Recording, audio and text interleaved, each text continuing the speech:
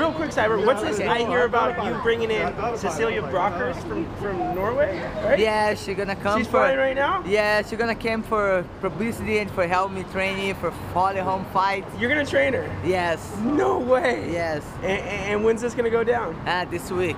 Amazing. Amazing. Yes. I look forward check to seeing out. that. Yeah, make sure you guys are being in Ruka for check it out. Well, first you, okay? I, I want to see you annihilate Holly, okay? Okay.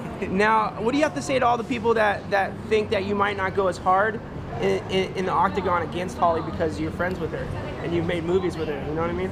No, you know, you make a movie, but it's really professional. We just go over there to do my job.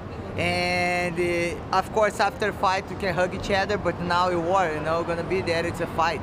So and it's fight game, and for sure I respect her. I know what, everything she did for boxing, everything she did for MMA. She did Woody Grau beat Ron Rousey, and Right. it'll be a nice fight, you know. I'm not having anything against her, and they have will be clean, clean and nice fight. But once you step in, it's all it's all war, right? Yes, that's it. And then after, it's all love. Yes. Way cool.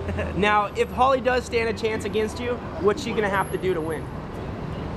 I'm gonna do my best I can. I'm gonna KO her. Yeah. You know, I, I I gonna find a new way, but you know, MMA it's it's everything. You can I'm a world champion jiu-jitsu, and then I can use my wrestling, I can use my boxing. You know, I I wanna feel the fight when I'm gonna be the fight because I have everybody have a plan when you go inside the cage. Of course. But the problem is you you are able to do the plan inside cage. Right. Because after the first punch, like Mike Tyson said, it's a different. Everything. Changes. Everything changes. No, to- totally. I see that.